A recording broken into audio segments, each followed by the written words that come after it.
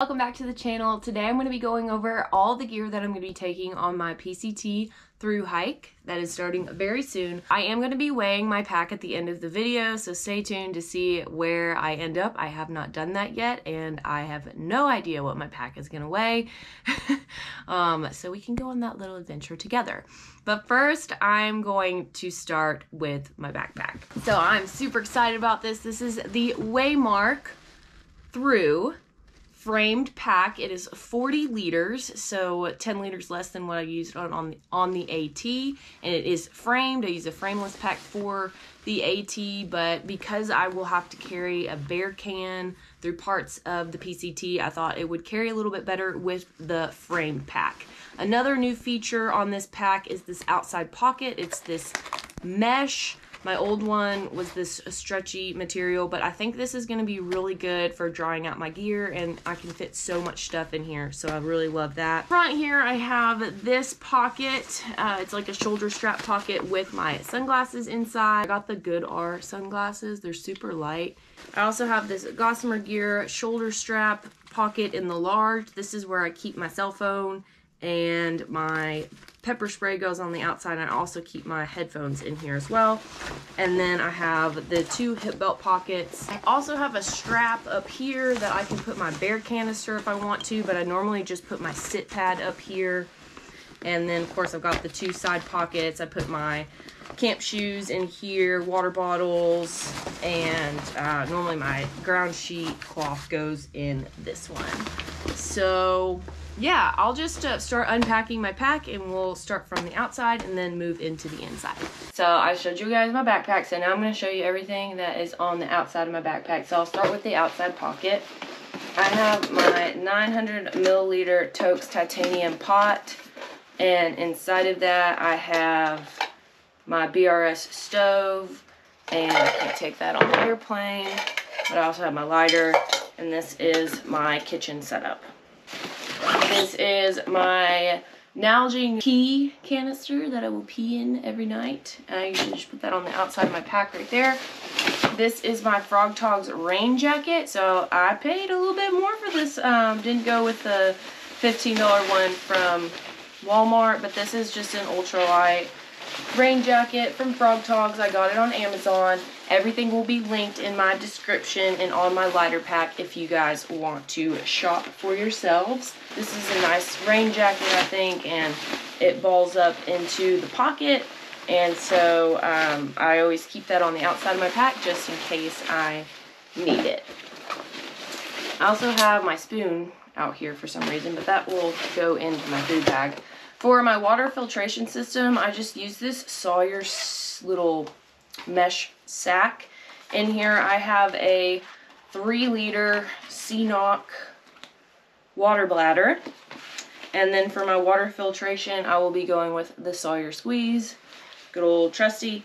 And then I also have my Dr. Bronner's soap that I carry along with me too. Since I do wear contacts, I like to kind of wash my fingers before I take my contacts out. But also I like to use that soap if we go into town and there's not a laundromat, which sometimes happens, and you can wash your clothes with the Dr. Bronner's soap. I also have some Neutrogena 70 SPF on the outside pocket, a handkerchief, my bathroom wipes, uh, Wilderness Sea to Summit wipes. I really like these. And then um, bag for toilet paper. And then I have my Deuce of Spades trowel with some dirt still on it from the last time I used it. So I also have, uh, on the outside of my pack here, this is my bug net. I don't know when the bugs are going to get bad. I figure there's bugs everywhere, even in the desert, so I will be bringing this. And then this is my Kula Cloth pee rag. On this side of the carabiner, I've got my sun hat. So I decided to go with a sun hat this year because, you know, the desert and everything. And I got this at REI. And pretty comfortable and it's got the little cinch thing. So, uh, I look a little goofy, but this will hopefully keep the sun out. And I like it because this back goes down here to protect your neck, but you can also pin it up if you don't want it. So, yay. This little, this is the buff I'll be bringing. And then let's move to the front. So I think I'm going to be bringing this GoPro clip. I am going to be filming with my GoPro is what I'm filming with now and then my iPhone as well.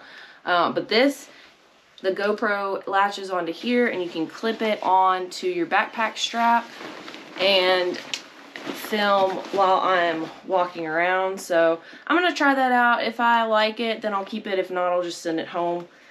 Uh, up here I have my sweat rag towel, and then my Gossamer gear like I told y'all earlier. And then um, I also have my Garmin InReach Mini. I just turned that subscription back on. And then in the side pockets, so this one I just carry my GoPro in. And this one I have my Lavender Essential Oil, my wallet, which is actually a Z-Packs bear bag, bear rock bag that turned into my wallet. And I never stopped using after the AT and everybody's like what is that? It's like it's my wallet. Mind your business. And then um, this is my Nitecore headlamp so I kind of went this one goes up to 550 lumens and I like to be on like the 300 lumen setting if I'm not hiking but I like to night hike. And so I wanted to invest in a really good headlamp.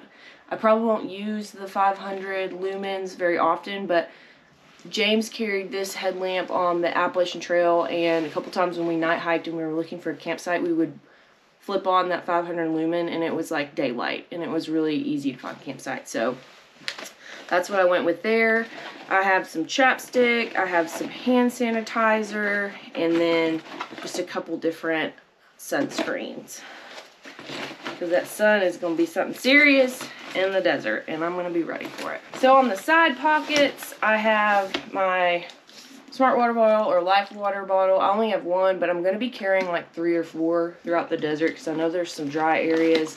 I have my camp shoes, which are my Tevas that I carried on the AT with me. And then on this other side, I have my Tyvek. This is my ground sheet for my tent. And then I have my tent stakes in here. And this year I went with some Wise Owl tent stakes. So these are kind of like the MSR groundhogs, but cheaper. You can get them on Amazon. They're a dollar stakes. The MSR groundhogs are 10 grams each. These are like 13. So, yeah. This is my Mountain Laurel Designs 1 8 inch foam pad. This is very multi-use. I put it under my sleeping pad in my tent so it doesn't make that noise every time I rustle around. And it's also my sit pad for throughout the day. It's my yoga pad. I absolutely love this thing. It went on the entire Appalachian Trail with me and it held up pretty well. There's a few holes, but I think it's got another through hike in it. Alright, so let's get into the inside of my pack. So, this is my food bag. I have some food in here now. I still need to put together my first food bag, but this is a Granite Gear food sack. It's the 16 liter. I actually had the 12 liter for the Appalachian Trail, but since there will be some longer food carries on the PCT, I went ahead and upgraded to the larger one, plus the other one that I had on the AT has a hole in it from when a mouse chewed. All right, moving right along this is my electronics bag. I also, this is a Z-Packs, just their small Dyneema bag. I use this on the Appalachian Trail for my electronics as well, and it did get some holes in it, so I just duct taped them. And inside of here, I keep my battery bank. So this is an Anker 26,800 milliamps uh, battery. I think that's how you say it. I did upgrade this. I had a 20,000 for the AT, but again, I think there's going to be longer stretches in between towns. And this, I just want to be able to keep all my devices charged so that I can vlog and put videos out. This bag has my extra GoPro batteries and all my charging cords.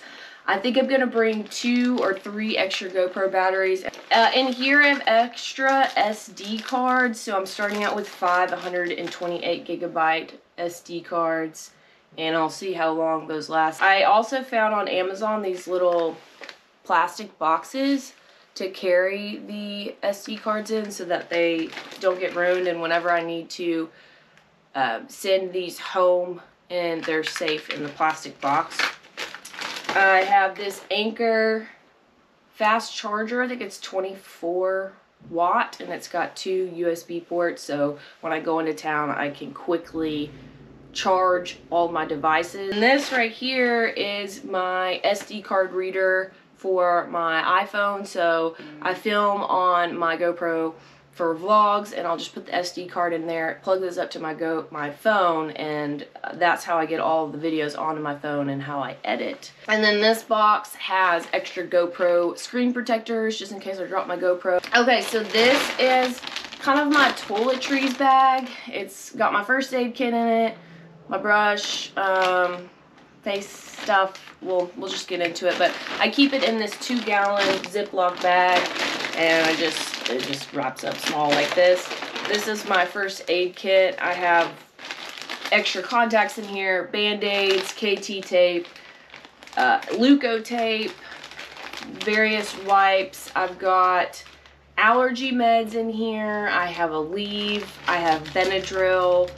I have Dramamine, earplugs, and this anti-itch stick for when I get bug bites.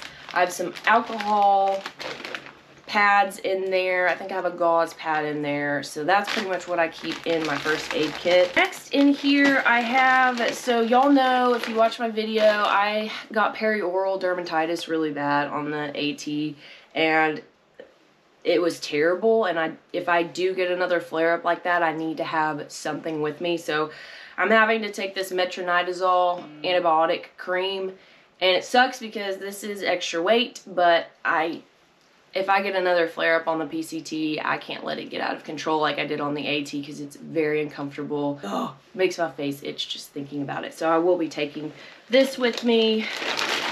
And then this also goes with the perioral dermatitis. This is CeraVe Ultra Light Moisturizing Lotion and it's got 30 SPF in it.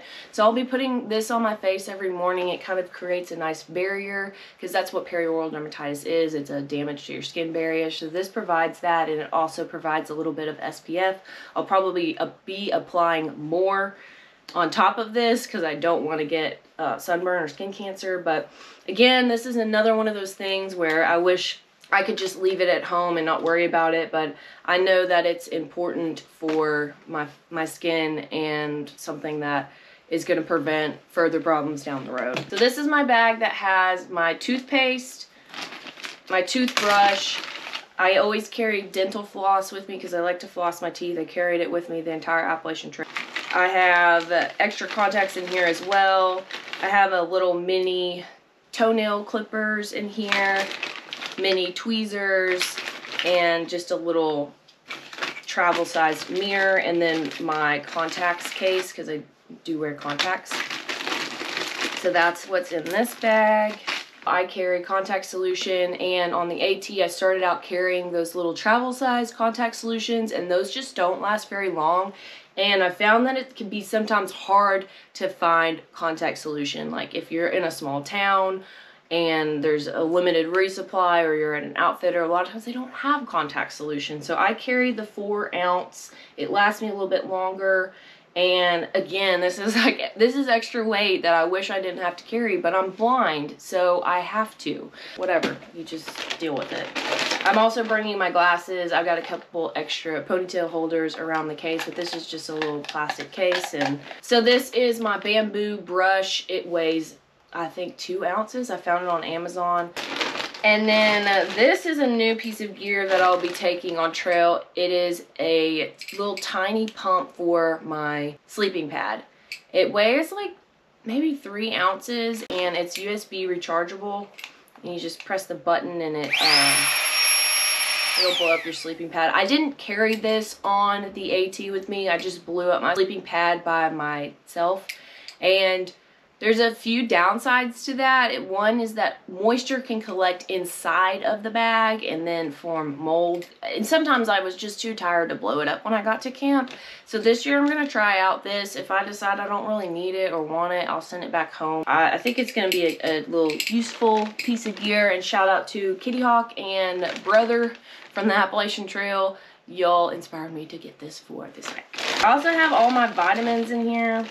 I have a, I'm taking some B vitamins. This is a multivitamin, and then these are probiotics. And then a bunch of tampons just in case. This is very exciting. New piece of gear that I would like to announce the world that I finally decided to purchase. I went back and forth, back and forth about pulling the trigger on this item, but I did upgrade my tent and I got the Z-Packs Duplex. I'm part of the club now. I'm a cool kid now.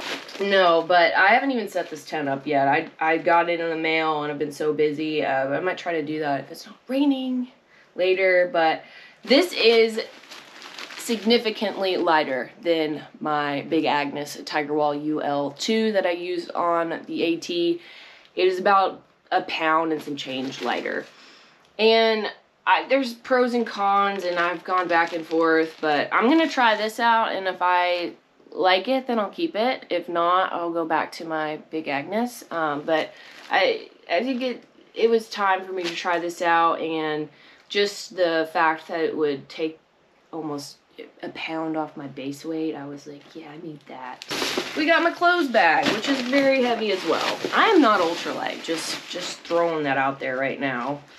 We are not going to have an ultralight base weight. First of all, we'll talk about clothes. This is what I'm going to be wearing on the PCT. This is Jolly Gear sun. It's like a sun shirt.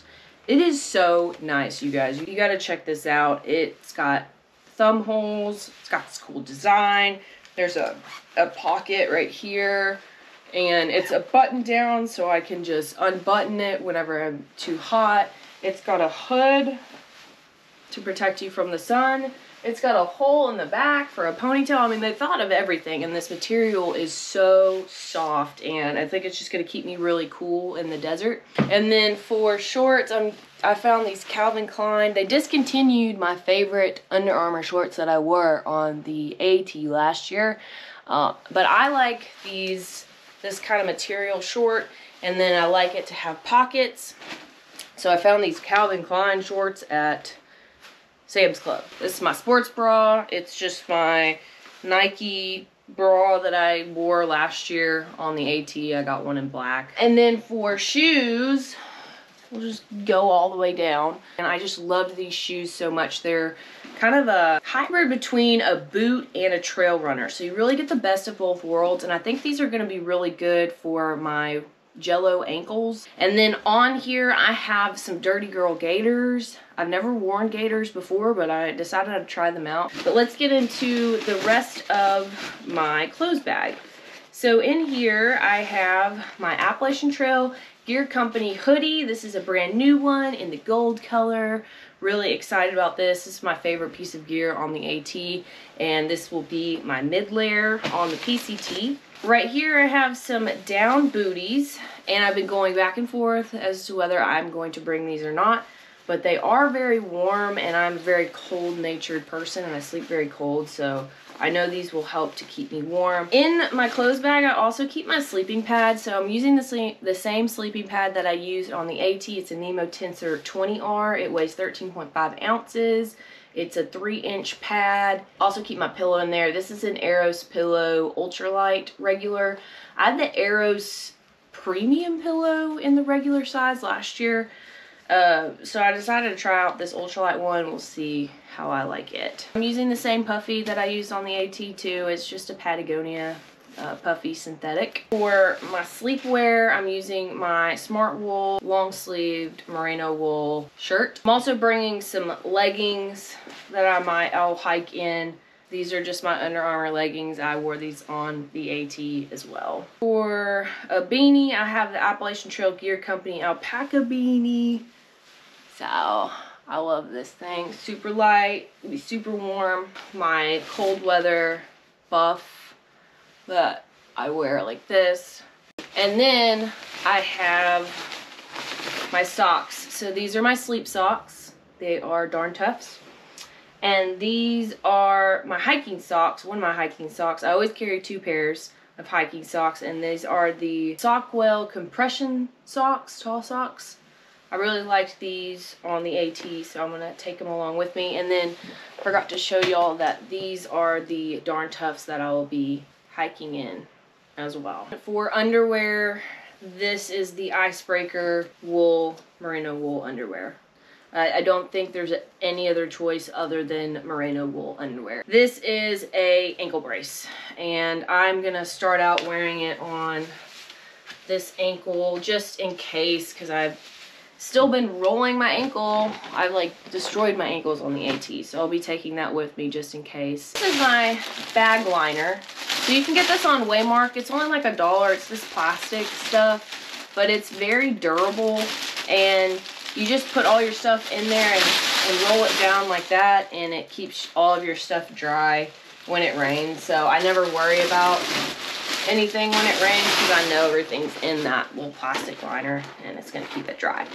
So this is a Hilltop Packs Dyneema stuff sack. I think this is the jumbo size, but my sleeping bag is in here. And it's a roll top and waterproof and inside of here, I have my same sleeping bag that I use on the AT.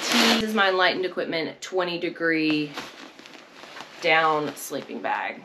These are my trekking poles. They're Black Diamond Alpine Carbon trekking poles. I normally only use one to hike with but I'll need two because I have the duplex tent now. That is pretty much all of my gear. I'm also using um, my GoPro to vlog like I told y'all.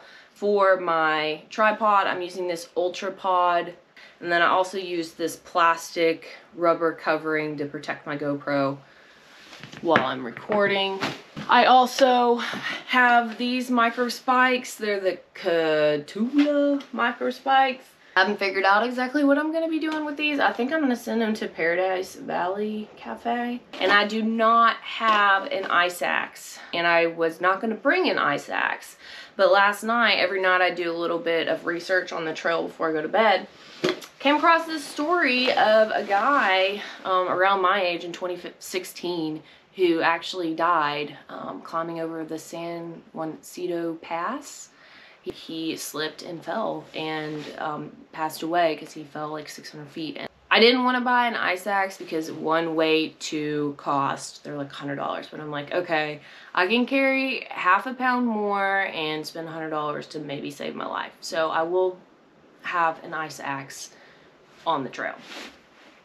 Um, okay, well, I guess that's it um, for today's video. If you guys have any questions about my gear, drop them below. Oh, we have to weigh my pack. Okay, hold on.